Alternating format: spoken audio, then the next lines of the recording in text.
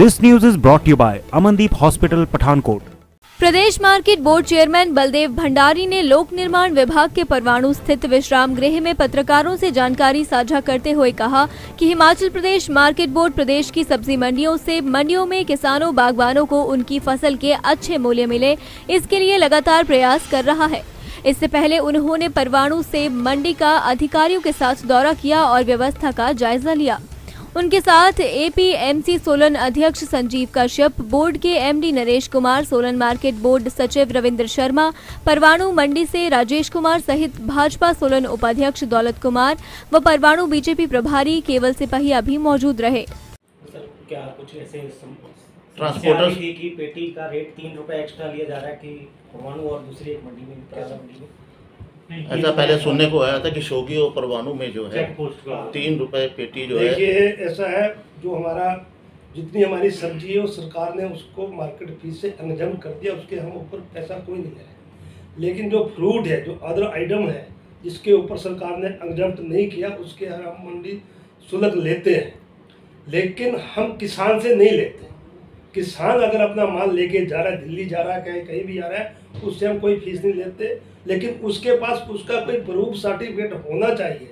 हमने हर check post के ऊपर बोर्ड लगाया कि आप ये डॉक्यूमेंट साथ लेके आए, पटवारी की रिपोर्ट लेके आए, प्रधान की कोई रिपोर्ट लेके आए कि ये माल आपका है तो हम कोई शुल्क नहीं देंगे लेकिन व्यापारी अगर खरीद के ले जा रहा है तो उसके ऊपर हमारा तीन रुपये मंडी शुल्क है वो जो कि मात्र नाम के लिए है। जबकि हमारा एक परसेंट हमारा मंडी शुल्क बनता है उस हिसाब से अगर आप देखेंगे तीन हज़ार की पेटी बनती है तो उसके ऊपर तीस रुपए बनता है। लेकिन हम तो केवल मात्र तीन रुपए दे रहे वो भी किसानों ने और सरकार ने बैठ के तय किया कि आप तीन रुपए लेंगे। लेंगे उन्हीं से लेकिन जो माल बाहर खरीद के ले जा रहे हैं किसान से हम कोई नहीं लेते।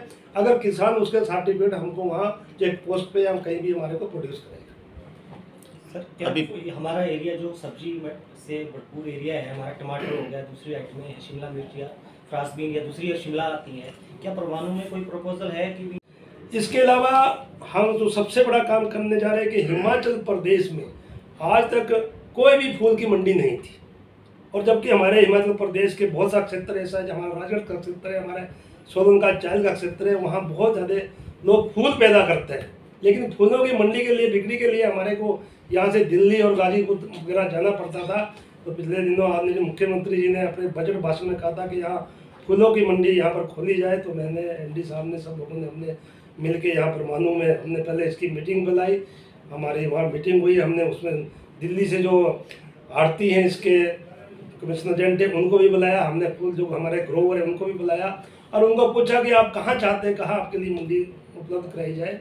तो उन सब लोगों का यह था कि हमारी दो क्षेत्र हमारे पड़ते हैं। एक तो हमारा ये सिरमौर का, सोलन का और शिमला का क्षेत्र है इसके लिए हमको परमाणु में एक मंडी का प्रावधान किया जाए। और उसके अलावा जो परला जो क्षेत्र है, हमारा कांगड़ा, चंबा, उधर के लिए हमारे को ऊना में हमारे को एक मंडी का प्रावधान किया जाए। तो हमने उसी दिन निर्णय लिया कि फ़र्स्ट फ़ेज़ में हम परवाणु में यहाँ पर मंडी बना गए और हमने ये तय किया है कि हम अक्टूबर में इस फ्लावर की मंडी को शुरू कर देंगे। और मैं समझता हूँ ये एक हमारा नया इनिशिएटिव होगा जो हमारे फूल के उत्पादक है। अभी तक जो छोटा उत्पादक था ज़रा पैदा नहीं करता था क्योंकि वो एक दो पेटी लेके कहाँ जाएगा। तो उनके लिए बहुत अच्छा एक ये रोज़गार का अवसर उनको मिलेगा इससे हमारा जो फूलों का जो हमारा क्षेत्र है, उगाने वालों का, वो बढ़ जाएगा। तो ऐसा भी हम लोगों ने प्रयास किया है। दिव्य हिमाचल टीवी के लिए परवाणु से कुलदीप कृष्ण की रिपोर्ट।